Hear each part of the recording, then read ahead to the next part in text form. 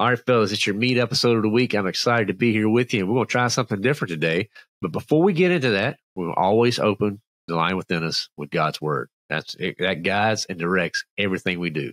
So our, our, our scripture this week is out of the book of John, chapter 16, verse 33.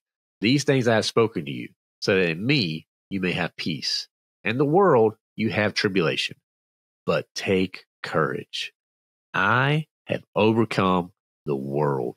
Guys, such a powerful verse. Go back to the spiritual kickoff. If you missed that spiritual kickoff, guys, I really took the way to try to unpack where, where you would understand how we can simplify and apply this to our life. And guys, I am telling you, if you if you understand that He has overcome the world, that the tribulations are going to come, but where we can have victory, there is power in that.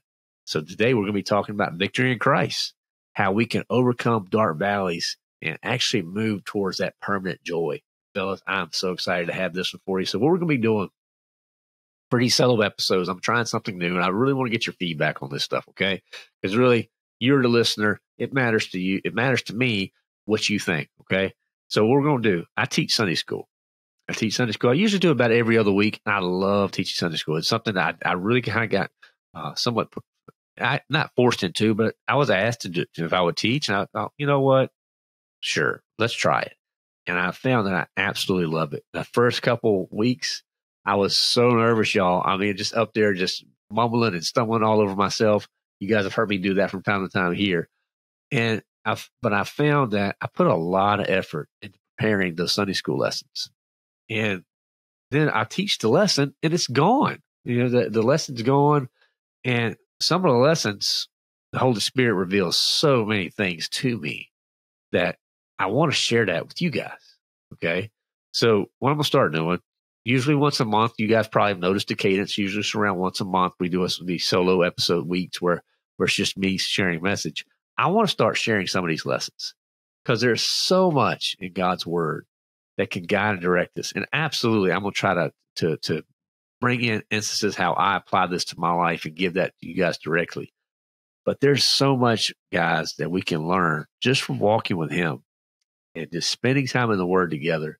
And I know you're busy. I know you guys got a lot going on. But my prayer during this time, particularly for this episode today, is that we're going to just understand, you know what? There's going to be an opportunity for us to grow in Christ. And that opportunity comes when we dig in. You got to drop the plow a little bit and actually get into the word. And when you do that, it is so awesome. I get fired up on it. So hopefully you will too. All right. So the main point we'll be talking about today is that in Christ, we have victory over anything the world's going to throw at us. And if you went back to that spiritual kickoff, you know that's true because he has overcome the world.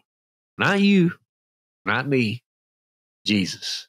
He has overcome the world. So think about uh, a victory. Maybe think about the last victory that you actually had, the last time you won something, okay? And for some of you guys, maybe it's been a while, or maybe not. Maybe you're in a bowling league, or maybe you're in a softball league, or or some type of sports thing, or or maybe you won an award at work, you know, a high performance award, or you know, uh, you you search you set certain records for maybe attendance or things like that. There's all people like to be rewarded. Let's just be real. Totally get it. Okay. So rewards are fun. That's why you see so much gamification going on out there uh, with business and things like that. It's because people keep score. Like you cannot put a bunch of dudes on a basketball court, give them a ball, and expect them just to shoot around. Like eventually, a game's going to break out, and guess what? They're going to keep score, keep, score. Why? Because that's what we do. That's just who we are. I think that that's part of uh, uh, the way God designed us. Okay. Now, recently, I actually was able to have Clarence Haynes. If you guys remember back way back in in the uh, uh, the podcast, Clarence came on and he talked about his book, The Pursuit of Victory. And recently, I was able to actually have Clarence back on the sh- on, in the community where ask me anything, and one of the things came up that I just I I remembered, and I wanted to share that with you guys. Okay, now it has it's an it, it's it's it breaks down what he talks about as things that derail us from being victorious, and he breaks it down into four words: sin, excuses, laziness, and fear. And when you look at those four words at the surface level, you discover there's really only one thing that's going to derail you, right? And it's you. Take those four words sin, excuses, laziness, fear. What's the first letter? S E L F. Self. Oftentimes, our self is what derails us the most from being victorious in what Christ has for us. So now we have to recognize these areas in our life, guys, and we got to start pruning that stuff out. Okay, so that's just a great acronym. I think if, if we want something that we can can actually start using more and more, is just recognize, hey, when when I feel like I'm not walking or doing things that I that, that I should be, is this just a straight up sin? Am I sinning? And we should know that. There should be some conviction there. Or maybe I'm just making some excuses. I'll get to it. Eventually, yes. Or I can't do that because of this. I can't because we hear that. I can't because, yep, starting to make excuses. Or laziness. Let's just be real. We're a lazy society, right? You look around, people don't want to work out. People don't want to get up. People don't want to put in the work.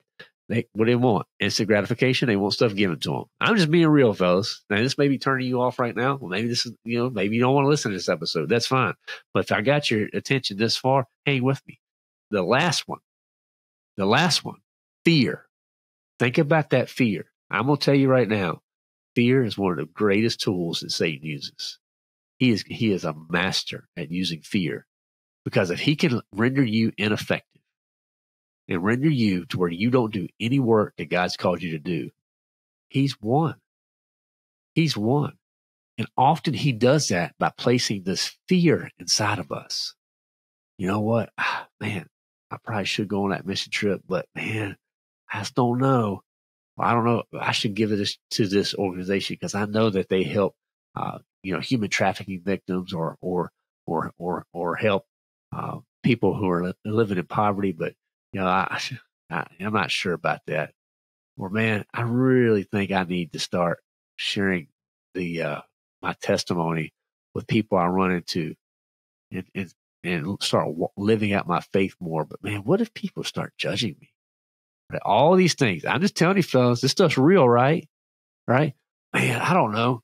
If I share the good, if I share, start talking Jesus, people are to think I'm weird. Or if they, if I start uh, asking somebody about their faith, then what if they ask me a question I don't know and then I'll look silly? Does any of this stuff sound familiar? And I know it does. You know why? Because I've had the same thoughts, guys. Because Satan uses the same tools on me. So look, we have to understand that fear, look, that is not that's not from, from God. That is from the evil one. So what we're going to be doing today, we're going to look at some scripture in John. Now, John 16, 33 is where we're going to end up, okay? But we're going to go back earlier, and we're going to I'm going to read some, a little a few pieces of scripture. And then we're just going to unpack it together, and that's how we're going to go about. That's how I teach Sunday school. I really love doing that. Uh, Pastor Joby has taught me a lot on that just by his preaching style, just that uh, verse by verse, going through unpacking. And I find that's the best way if you want to grow in God's word just let just just sit in it, sit in it, and soak. So let, let this help you. So we're going to be in John 16. I'm going, to read a couple verses right here to get us started. So we're, we're going to start off at 19 through 22. Okay, so we're looking at verse 19. It says Jesus knew that they wished to question him, talking about the disciples. Okay, and he said to them, "Are you deliberating together about this?" That I said, "A little while, and you will no longer see me, and again a little while, you will see me." Truly, truly, I say to you you will weep and lament, but your world, but the world will rejoice. You will grieve, but your grief will be turned into joy. Wherever, whenever a woman is in labor, she has pain because her hour has come. But when she gives birth to the child, she no longer remembers the anguish because of the joy that the child has been born into the world. Therefore, you too have grief now, but I will see you again, and your heart will rejoice, and no one will take away the joy away from you. Okay. So, guys, let's just look at that scripture let's think about it. Jesus was telling it right here uh, that he was going to be leaving, but it wasn't sinking in at this point. It really wasn't sinking in at this point. Because when you look at 20, and he's telling like, like, you're going to lament, you're going to cry, that probably been hard for those guys to hear. Because remember, these uh, most of them have been rolling with him for over three years, right? Just imagine a buddy you got, you've been rolling with him for your for as long as you can remember, and he's telling you, you know what, I, I'm basically I'm out of here. I got to leave. I'm going to die. That would be a hard pill to swallow, right? So understand this is this is very important just to see the context of where the disciples were, maybe where you are in your journey. Let's just look at verse 19 and 20. Okay. Just just those two verses directly. It says he knew that he wished that they wished to question him, and he said to them, Are you deliberating together about this? And I said, A little while, and you will not see me, and again in a little while, you will see me. Truly, truly, I say to you, you will weep and lament, but the world will, will rejoice. You will grieve, but your grief will be turned into joy. Now, what's going on? They were curious because of what he actually had said in verse 16. So, verse 16 says, A little while you will no longer see me, and again in a little while you will see me. Now, that's a confusing statement right there, right? I mean, you would be confused too if your buddy says, you know, while won't see me, but then you will see me. You would be thinking, well, maybe they're going to the store and they're coming back. That's not what Jesus was talking about. He was talking about his literal death, but then the resurrection, right? That's what he was talking about. And he, as the Messiah, he was revealing to them in the moment things that are going to come. And he had to be direct with them and head on with the way he explained it. That's the way he was those disciples. He had to be direct and head on, right? They didn't pick up the nuance, the nuances there.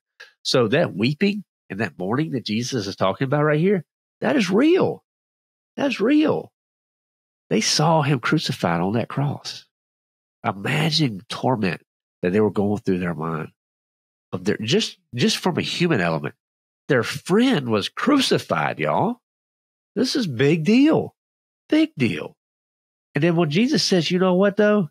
The world's gonna rejoice. What he said right here he says, truly, truly, that you're going, you you will weep and lament, but the war, world will rejoice. You will grieve, but your grief will be turned into joy. Guys, I'm going to tell you right there that that's interesting when you start thinking about it. Why would they world rejoice? Well, they're going to rejoice because they got rid of what they thought was the troublemaker, right? They, everybody thought Jesus was a liar, a blasphemer. You had all the Jews that were uh, going up against him. They didn't like what was going on. So what did they want to do? Crucify him, crucify him. And they got what they wanted. They were happy, right? They literally let a, a, a thief go, right? A criminal go so they could crucify an innocent man. It's crazy when you think about it, but they were rejoicing in that moment. But, but that, so, that sorrow that the disciples were feeling, that didn't last long. That turns to joy. Victory was coming it would come to them, but they had to walk through a valley first. And that's a great lesson to take right here, guys. You will weep, you will lament, but the world will rejoice. You will grieve, but your grief will be turned into joy. That's not maybe turned or could be turned. It says your grief will be turned into joy. And I know you may be in a trial right now. You're like, there's no joy in what I'm in. I totally get it. Things happen, right? I totally get that. The world is full of this stuff. But I'm just telling you, you trust the sovereignty of God and understand that that it is you are not it's not circumstantial. That you the only way you're going to have any joy is having that relationship with Jesus. That's what he's telling right here. He's telling look, your your sorrow is going to shift to joy, buddy. That's when it gets really good. Now let's look at another the next verse. Very interesting verse, verse twenty one. Whenever a woman is in labor, she has pain because her hour has come. But when she gives birth to the child, she no longer remembers the anguish because of the joy the child has been born into the world. Okay, now, I've never personally given birth to a baby. Guess why? Because I'm a guy. And I know that's controversial these days. That's another podcast topic in of itself. But let's just be real. I've witnessed it, and it's painful. I can only imagine what you ladies go through, right? And that's when the pain, when you think about it, uh, if you ever been with with a lady and she's going through a childbirth, you know in that moment when the pain gets real, right? And you, start getting those contractions, they start intensifying, and next thing you know, you know what, you're in full blown labor, and that stuff at that point, once you've been in full blown labor and, you, and you've been with, uh, I've been with my wife in full blown labor a couple times now, like sometimes they can't even speak they can't speak. They just have to breathe their way through those contractions, right? And that that pain is intense. It's intense. And look, I, I understand. I always like to like like to joke with this one too about whenever I tell this story. You know, talking about the difference between uh, kidney stone pain, baby pain, and how you know guys that pass kidney stones it's worse than, than having a baby. I mean, there's a lot of pushback on that. But my, my only reason I bring this up is like, yo, yo, I've never seen a dude say, I wish I had another kidney stone But I've heard plenty of women say, you know what, we should have another baby. I'm just saying. So I don't know if that's something to do with the, the level of pain, but I thought it's worth sharing. But at that moment, let's put yourself back in this moment what Jesus is, is, is sharing here. When do you forget the pain of childbirth? You forget the pain when you hold the child. When you hold a child in your arms, at that moment, you completely forget about all that pain that was endured.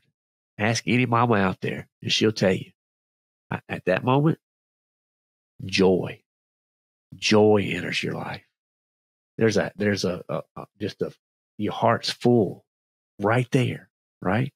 And we, as, as, as, as, as believers and as, as people in general, we were built for this. That's what we want. This is a great analogy. This is why Jesus uses uses this analogy because it's a wonderful way for us to connect and what we can expect with Him, right? With Him, that that, that joy that we have when we get to hold our child. And look, if you haven't held that, had that opportunity to hold your child before, look, I'm with you. I'm praying for you. If you want to hold a child, I totally get it. But you just have to trust in, in the sovereignty of God. But you have that waiting for us in our Savior.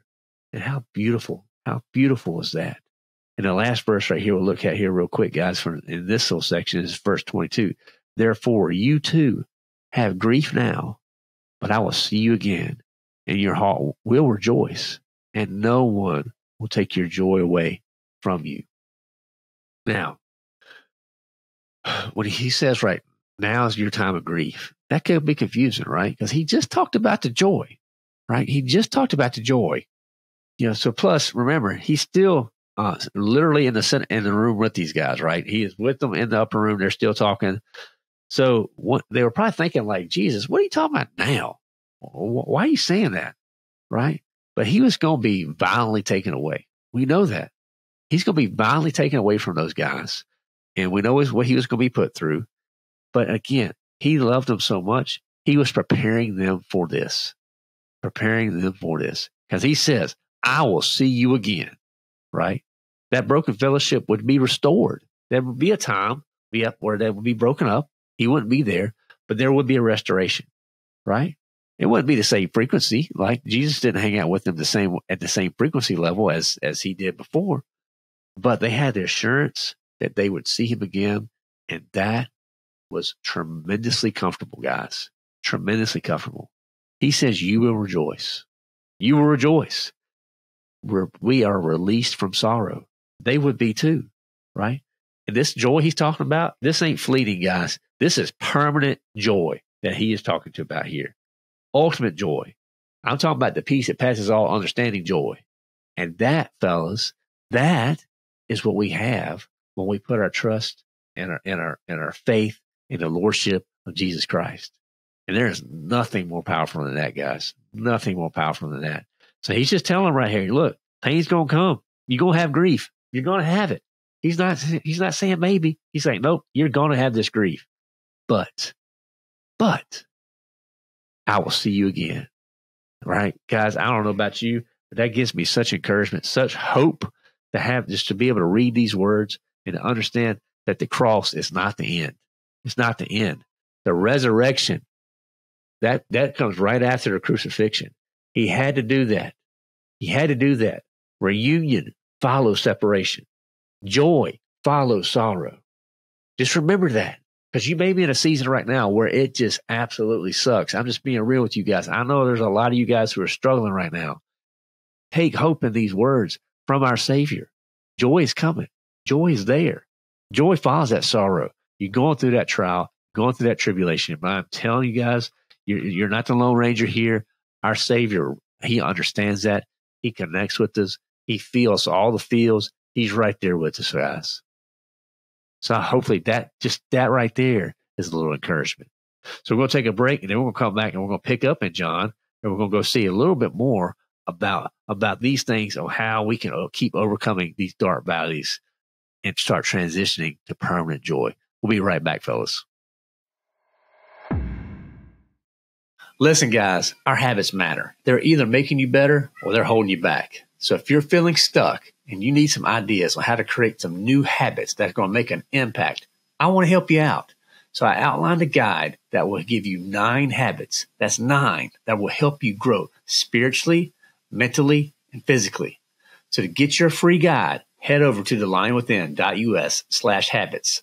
That's thelionwithin.us slash habits and start creating the habits you need to be the leader God intends you to be. All right, now let's skip down in our in our scripture, and we'll still be in John 16, okay? And we'll look at verse 27 through 30, okay? 27 through 30 says, For the Father himself loves you, because you have loved me and have believed that I came forth from the Father. I came forth from the Father and have come into the world.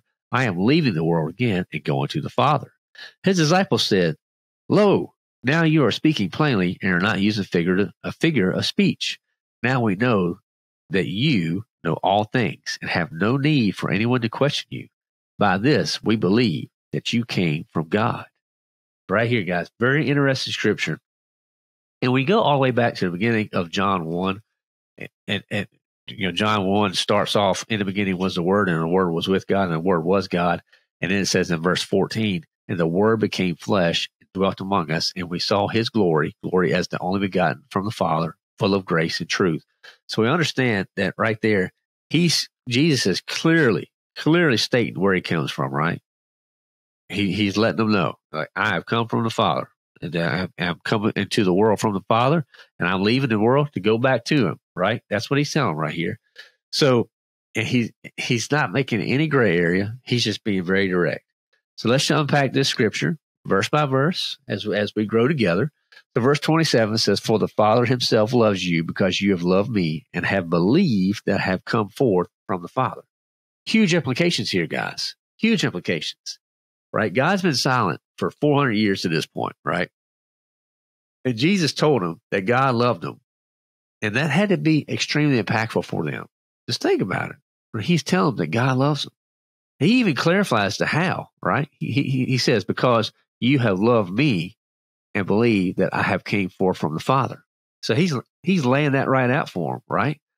This new he created a new relationship with God when when he came here. And these guys couldn't even imagine what he was doing. And it was no longer about the laws, the sacrifices, or or or, or the priestly things. No, it wasn't about that. It was about relationship. This is another thing that came up the other night, guys, and, and where to me, where it's like if you feel like you're always just serving, I just serve, serve, serve. Wow, that's great. We are called to serve. I, I, am big on servant leadership and all these different things, right? I think that we should be doing. If you're in a local church, you should be serving. But the convicting part for me was don't miss the relationship. Our Father wants a relationship with you. If you're a man, he wants a relationship with his son you're if you're a female, he wants a relationship with his daughter. So we could get so wrapped up in the serving and checking the boxes that we're doing that for ourselves versus doing it for him. So make sure that we prioritize the relationship first. Now, serving should come because of our desire to be with him and to grow with him through that process of sanctification. But the relationship has to be the priority.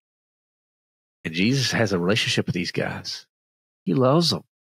John even calls himself the one whom, whom Jesus loves, right? Which I still don't see how you give yourself your own title. But anyway, that's what he does. And guys, this is very important stuff as, as we understand that relationship matters. Now we'll look at 28. What does 28 says? I came forth from the Father and have come into the world. I am leaving the world again and going to the Father. So he's clearing up the whole question that many of us guys ask all the time yo, where are you from? Right? How many times you guys asked that? Hey, where are you from? This is just a common question. So he was an incarnation of God on earth. That was it. And he's always been with God, period. Right? The entering part was key because he created that new covenant when he did that. Right? And he did that for everyone, Jews and the Gentiles. And this is what rubs so many people wrong because this wasn't just a Jewish thing. This was for everyone. Right? And this leaving created some sorrow for sure. We've already talked about that. But they knew if had, if he had to leave, it was best if he went to the Father. Right? They they get that. They understood that. And that's the beauty of the gospel, fellas. That is it. That is it. He took on his, he, he took, when he took his humanity to the Father, he took all of our sins with him. And that's, man, I don't know about y'all. That just gets me fired up. It really does. Right. And that's plain talk right there. But he's giving them plain talk. And how many times do you guys, go out there? Maybe you can relate with this. Maybe you guys got people that work who you can never get a straight answer, or they feel like they always have to give you the most articulate answer. We'll tell you what, if you can answer something in five words, don't use 10, just use five. There's something to be said about the ability to have straight talk. You know, it should be a core value that we as Christians have. Don't feel like you have to always go in here with these huge words and, and process. No, just keep it simple. Jesus spoke very plainly to them, very plainly to them. And think about it for, for you right now. When did the truth of the gospel come clear to you? Was it some, through some deep theological uh, overview of justification? No. Most likely it was someone simply sharing the good news of the gospel. I totally get we want we should be growing in Christ. We should definitely be challenging ourselves, but don't miss the simplicity of what Jesus is trying to to teach them and to show us. Now, let's look at these last two verses of this part of this part. His disciples said, Lo, now you are speaking plainly. You're not using a figure of speech. Now we know that you are all things, and you have no need for anyone to question you. By this we believe that you came from God. Right? right? So they had that aha moment. you can hear it right here. The disciples had an aha moment. Holy crap. Like, I get it now, right? And how does it make you feel? Like when you're putting a puzzle together and you finally get that final piece of the puzzles and it starts and you start to, oh, I got it. I got it. I got it. Right. It gets you pumped up, right? So imagine them. They had all these teachings. They had all these parables, all these stories that, that Jesus told. Now to get that clarity, get that clarity, right? It had to just be such a wonderful moment to finally like, I totally get it now. Maybe we've done like math, like from, from engineering school. I remember doing a lot of math. And when you finally get that moment where, where the certain principles or, or, or these actions fall in place and it clicks, right? Boom. Okay. Oh, that's what you're, I see what you're doing there. That's what was going on here, fellas. That's what was going on here. And I just think it's a, it's a, it's a beautiful thing. Um, when we start thinking about it to understand that guys, that that is from, from, the good news of the gospel. This is what Jesus is promising here, right? The truth is, we got to have him. We got to have Jesus, right, to go to the Father. We need to understand that. And everything about our victory, guys, everything about our victory is based on the fact that He is with Him right now. Think about it. He's with Him right now. He's sitting at the right hand of the Father, right? No one gets to to Him except through Him. He is the way, the truth, and the life, right? He is it. There's no other path, guys. So we have to be super clear on that, super intentional on that as we move forward in our faith. I'm telling you, it's there's something power about, powerful about that. And I we're going to wrap this up today here in a minute on how we can have peace and courage because of our victory in Christ.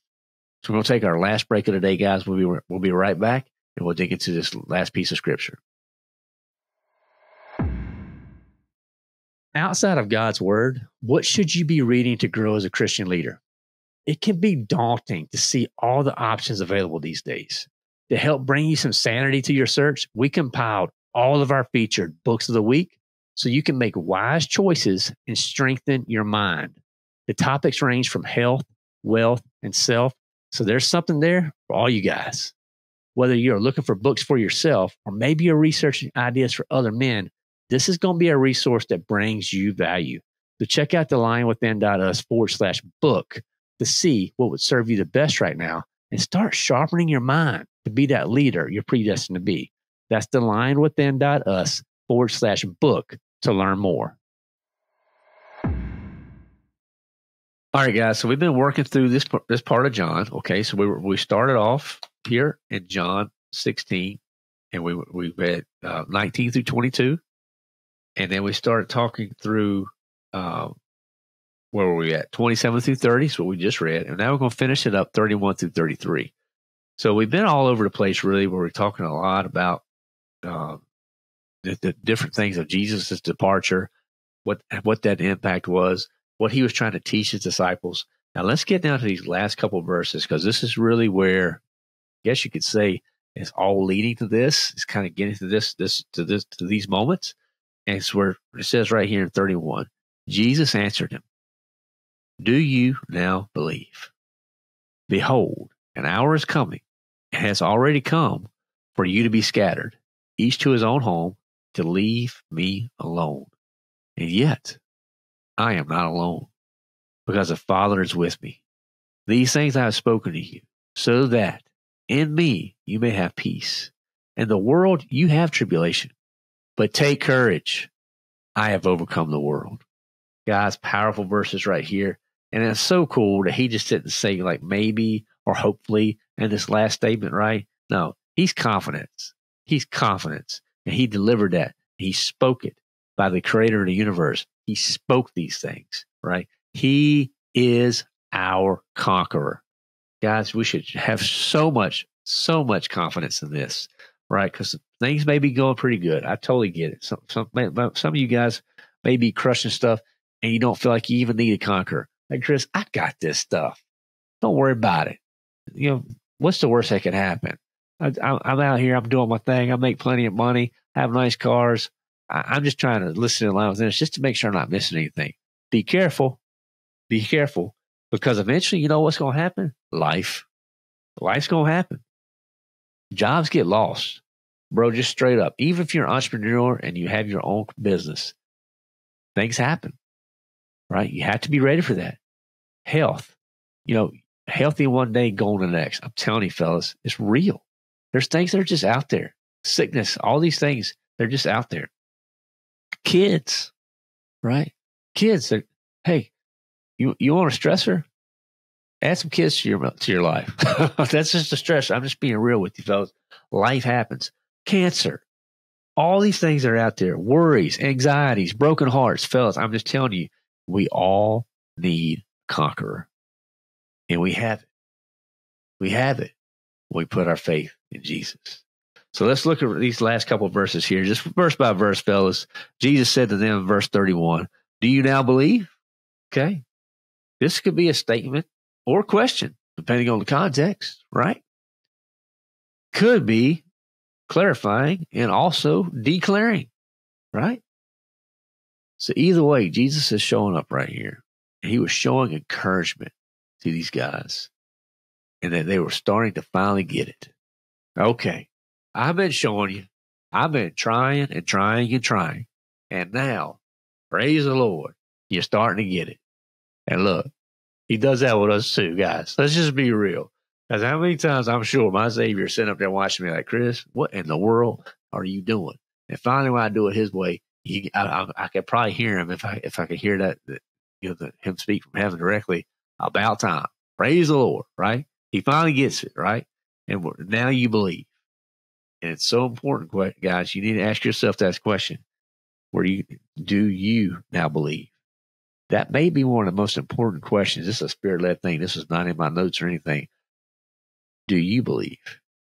It's okay to read this stuff and to think through the stories and the accounts and to have it kind of at a distance, at arm's length for the guys that are watching on YouTube, I'm trying to do that arm's length, right?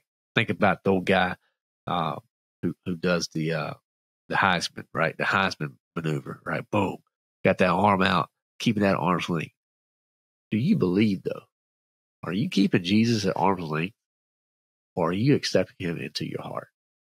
Because here's the thing, fellas. Once you accept him in your heart, everything changes. Everything changes. So just be aware of that. So maybe that's the most important question you need to ask yourself today is do you believe? Okay. Now look at verse 32. Behold, an hour is coming and it's already come, for you will be scattered and each to his own home, and to leave me alone. And yet I am not alone because the Father is with me. So this time Jesus, Jesus talking about right here. He's actually fulfilling some prophecy back in Zechariah. Okay. So if you go to Zechariah 13, 7, 13 verse 7, it says, strike the shepherd and the sheep will be scattered. Right. And that's what's going on right here. Now I think about old ant hills, right? You, you know, if you hit that ant hill, what's going to happen? Boom, they going everywhere. They are going everywhere, right? And it's and it may fall, uh, but it's going. But think about ant hills too. Even though you knock them down, guess what happens? They're gonna come right back up, right? They're going to eventually rebuild, right? Now, do you think when Jesus said right here, "Do you will leave me alone"? Do you think that made Jesus sad? I, mean, I think about stuff like that. You know, like think about you when when you're left alone by yourself. How do you feel? A couple of things I thought about: deserted, abandoned, lost, insignificant. Right? We all feel those things. Heck, the Lion Within Us, we're all about helping guys who feel lost and alone, man. That's it.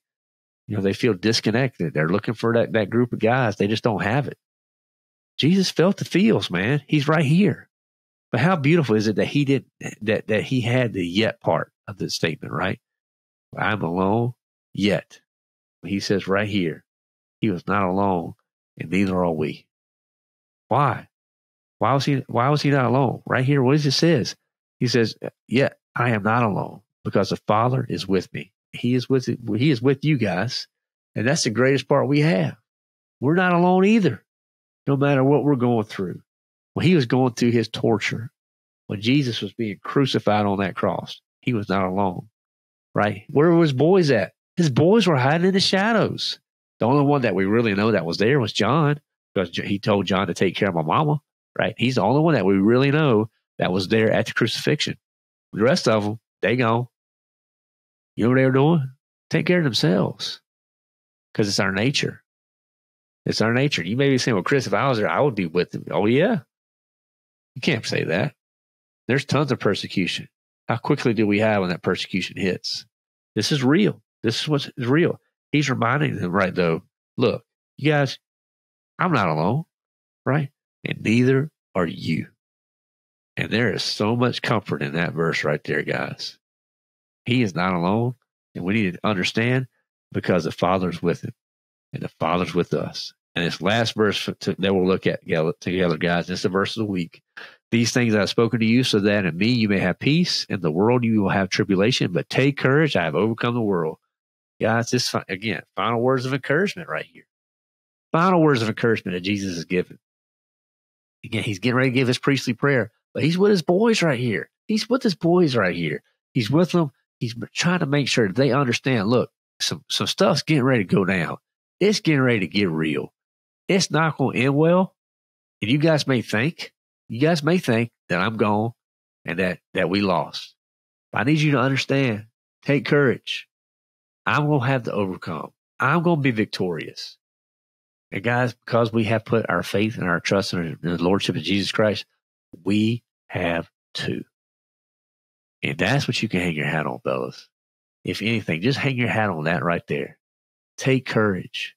And I know the world's throwing all sorts of stuff at us, fellas. I am telling you, I teach Sunday school. I also, with the Lion Within Us, I, you know, when you start doing this type of work, you see all the darkness that's out there and the way the marriages are under attack, the way that our kids are under attack, when sickness hits. I just, I literally just saw a post the other day for a, lady in our community, 32 years old, cancer, killed her. And you see this stuff, man. And it don't, it doesn't make any sense. You're like, why? Why?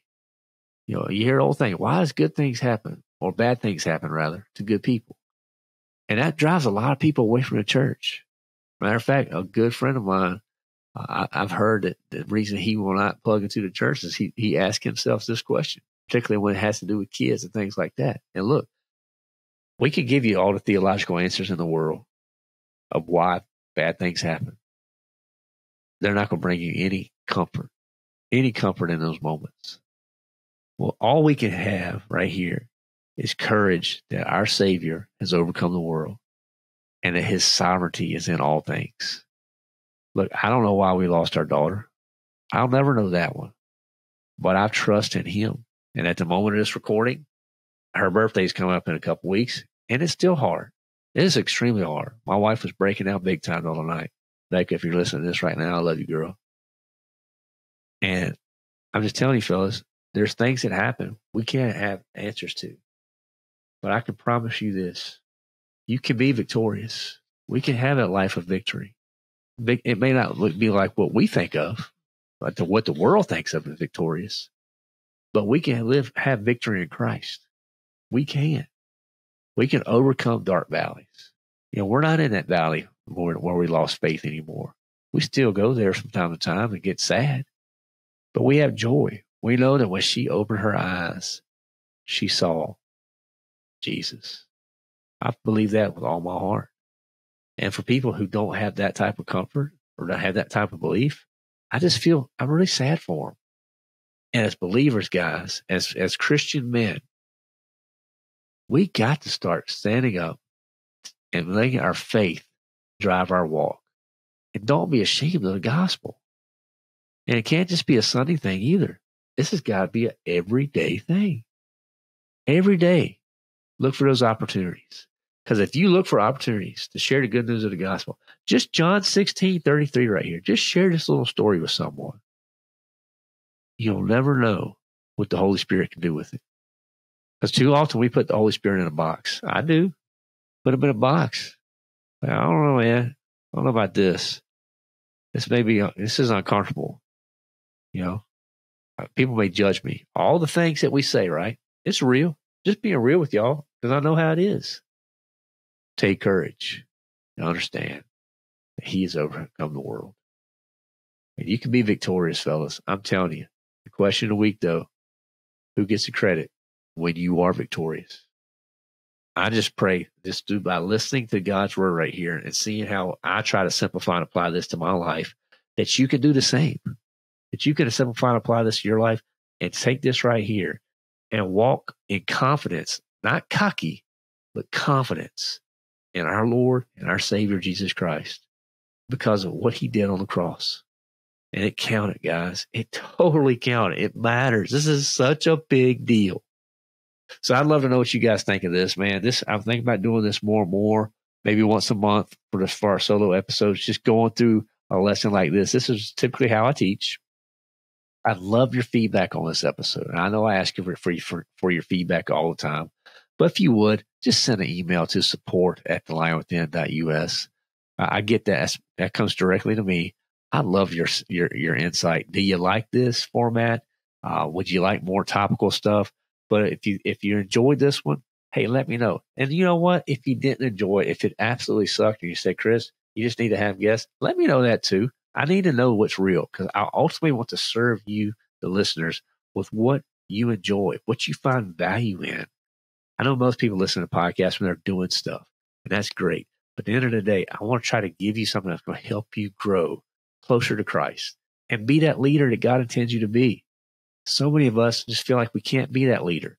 So my prayer is by, spending a little bit more time in God's word with you guys, that it's going to help you grow Maybe we'll have some more it is written. So remember that John 16 33. You got to have that, and that will help us grow in our walk. So I pray you would share this with someone else. That's the best way to help help the podcast. Share it with someone. Ratings review definitely help. If you can just open up whatever app you're on, give us a five star rating and review, whatever way works best for you. That does matter. Uh, if you want to support the show, that would be wonderful. We we love to have the we have a lot of donors now. So go to the lionwithin.us. You can go to the donate page. Maybe you want to be a monthly donor, a monthly supporter. That would be awesome.